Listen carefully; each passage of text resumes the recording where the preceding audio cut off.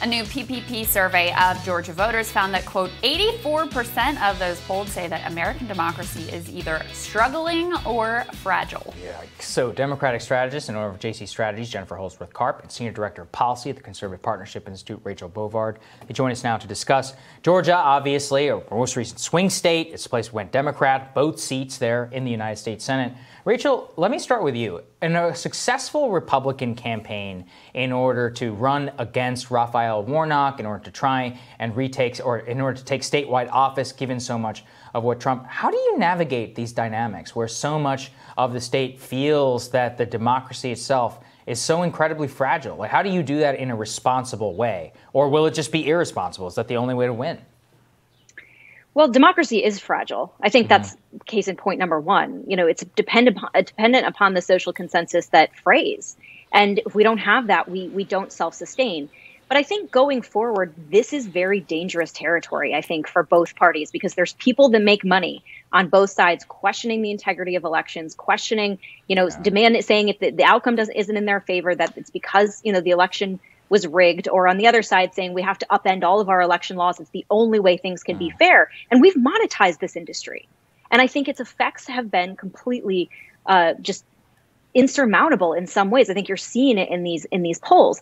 But I think more broadly for Republican candidates, you know, it's a general feeling of disenfranchisement, I think, across the board when it comes not just to elections, but like how policies impact them. You know, when they're mm. told, oh, you weren't you weren't helped by that corporate tax cut well you're just lazy you know or you know they they don't like facebook so they go on Parler and then you know they get nuked there too. You know when the house spends instead of actually trying to pass policy spends weeks trying to kick marjorie taylor greene out of congress for facebook posts from years ago that she's apologized for. I think all those things go into what is a really complicated problem we're dealing with in america right now yeah, I think that's a good point. Jen, if you dig into the crosstabs here, you do find that Republicans uh, have a much more dim, dimmer, more dim, whatever, view of American democracy. So fragile and struggling. Fragile is supposed to be like the worst, right? It's really fragile. Struggling is supposed to be slightly better than fragile. And a full 58% of Republicans say that American democracy is fragile. That compares to 37% of Democrats and 45% of independents. Again, this is all in the state of Georgia. What do you make of that? Well, I think this is a direct result of the last few months of a, uh, a president at the time and former president now running an active campaign, also very specifically in the state of Georgia, about how the election was stolen and how everything was rigged and how people were voting that shouldn't have been and how dead people were voting. This this is not just a, an anomaly in a poll. This is the result of an active disinformation campaign on the right. And it's wildly irresponsible. And this is what Democrats have been screaming about, saying, look, we can agree to disagree on a lot of policies in Congress, and we can agree to disagree on you know whether Donald Trump ever should have been allowed to run for president in the first place period there's a lot we can disagree on, but what we simply cannot allow as a country is tearing at the fabric of our voting system. And that's something that uh, up until this point, mainstream Republicans have refused to engage on, and they entertain every conspiracy theory that comes across their desk. This is the result of that. Yeah, uh, Rachel, I'm curious from your perspective. I mean, obviously, I know like Stacey Abrams' refusal to concede and all of that, and there's just been a real spiral to the bottom, I think, especially in Georgia which is what happens if Republicans do lose another statewide race there? Will there be some pushback, in spe- eh, or not even pushback, some catharsis or understanding that pushing some of this election misinformation has fired back pretty dramatically? Because, as yes, the $2,000 checks and Mitch McConnell's refusal to do that is a huge part of the story. I think another part of the story is Trump's claims um, on the election. How, how are people going to grapple with that if they lose another statewide election in Georgia? Well, I hope they've already learned from it in the sense mm. that, you know, I do think the $2,000 checks were a huge uh, problem for Republicans in Georgia, but also there were, you know, that uh, the effort to say, you know, don't go out and vote because the yeah. system's rigged anyway. Like that, those two things I think were so damaging to Republicans. But I think, you know, also the point you raised about Stacey Abrams, this was a thesis she has been pushing in Georgia that, you know, the left has been disenfranchised and that there's all this kind of conspiracies to kick people off the voter rolls.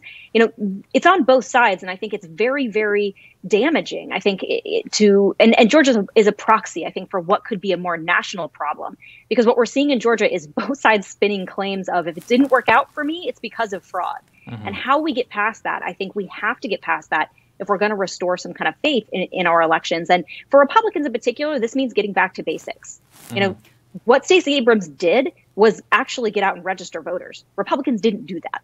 And that's a basic ground game. And that is what gives people faith in their elections when you go back to those kind of basics. So I hope Republicans do that. It's a good, yeah. A good point. Well, and the upshot of all this, Jen, and this is also reflected in the survey data, is it leads to a lot more people, and specifically a lot more Republicans, embracing anti democratic means. So the type of political violence that we saw at the Capitol, for example. This is what happens when you feel that your vote doesn't count, that the election is completely rigged, that nothing you do from legitimate channels is going to ultimately affect the outcome. You end up with political violence.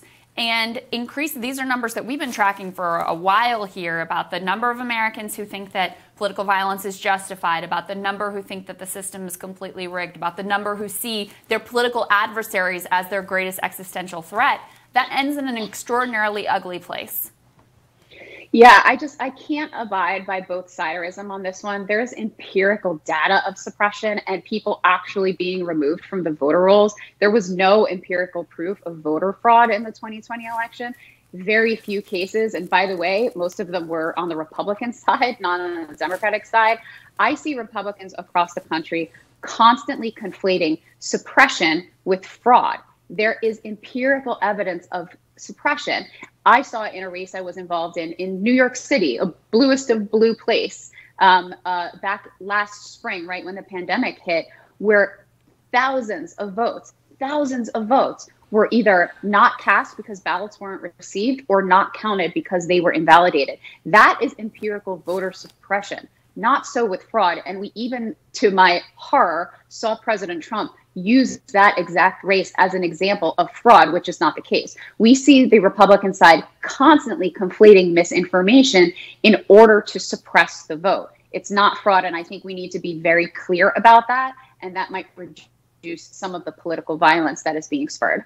I take your point, Jen. Last thing I want to do is relitigate 2018 Stacey Abrams. Um, we really appreciate you guys joining us, and we will see you all next time. Thanks, ladies. Great to have you both. Thank you. Thanks. We'll have more rising for you after this.